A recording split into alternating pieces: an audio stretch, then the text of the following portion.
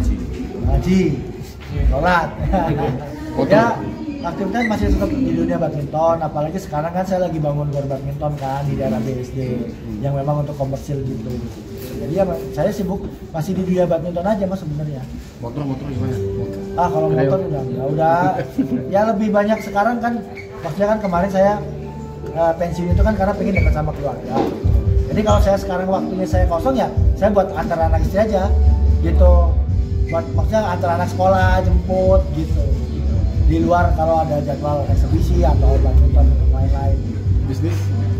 Kalau bisnis ya itu salah satunya sama lagi ada bangun tempat makan juga. Bangun karaoke tempat karaoke. Hah? tempat karaoke katanya.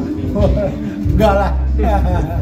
Eh ini kan udah dari minggu ya ke sini. Ada kira-kira beberapa orang nggak dalam pantauanmu yang kira-kira layak gitu untuk dapat golden ticket Ya kalau sekarang Yang ada spesifik, beberapa, spesifik. Ada beberapa.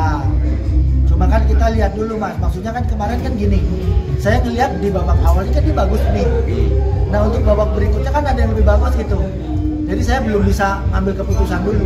Jadi kayak kemarin kan 124 nih, kita ngeliat bagus misalnya dia kalah nih, Hmm. gitu. Ya saya mau ngeliat di 64 dulu gitu. Di 432 dulu, karena kan 432 ini kan belum diseleksi yang bagus gitu. Tapi ada juga yang misalnya kalah untuk masuk ke babak berikutnya ada juga. Tapi kalau untuk sekarang kalau saya masih belum. Kalau saya masih masih yang saya incar tuh yang masih menang-menang gitu oh. Nah, jadi misalnya nih bagus nih main ya menang mainnya menang gitu.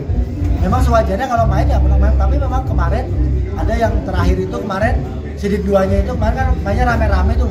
Dan itu menurut saya bagus semua. Hmm. meskipun kalah masih bisa dipertimbangkan? Ya itu menurut saya ya masih bisa dipertimbangkan. Mas Owi mungkin eh, seberapa yakin dari peserta ini yang nanti ke depannya bakal jadi profesional gitu? ya kan sekarang juga masih udah banyak contohnya kan yang kita tahu di situs yang memang udah ditelantas kan. Ya kalau saya sih eh, yakin gitu dengan apa namanya dengan bibit-bibit yang ada ini tinggal pelatihnya nanti mengolahnya bagaimana itu kalau untuk modal saya yakin ada beberapa yang dia udah punya postur bagus pukulan bagus maksudnya cara mainnya aja nih memang memang harus dibenerin gitu dan memang harus dimatangin lagi Terima kasih sudah menonton. Silakan subscribe, like, dan jangan lupa komen di bawah ya bola spotter.